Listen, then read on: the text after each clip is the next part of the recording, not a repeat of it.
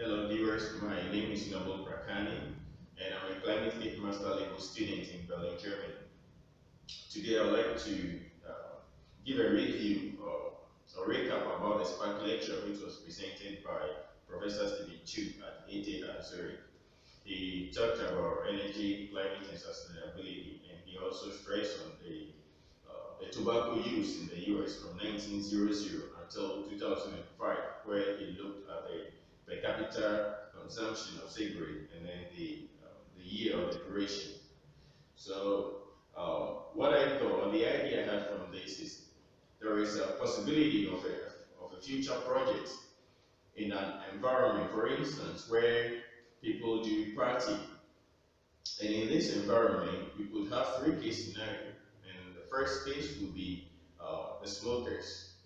And the non-smokers in this room. Those who don't smoke and those who smoke at the same time in, um, in a confined place where you have this uh, kind of pressurized gas or the artificial spray or the artificial smoke as some may call it. So what I am trying to do is to look at the PM concentration in these three um, case scenarios and PM is the particulate matter, which will be PM1, PM2.5, or PM10 in this environment.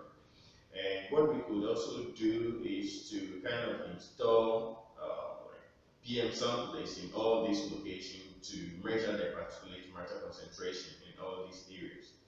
And what we could also do from that is to model the, the effect of all these scenarios on the, on the health of party lovers in these um, places. So the future project will be what will be the health implication from these areas, looking at the, the short-term effects and then the long-term effect. I know it will be a very challenging and difficult project, but I hope uh, there, there is some kind of solution that might come from from anywhere. So I look forward for ideas, uh, I look forward for suggestions and comments. You're all welcome this project. Thank you for your time and thank you for listening to me.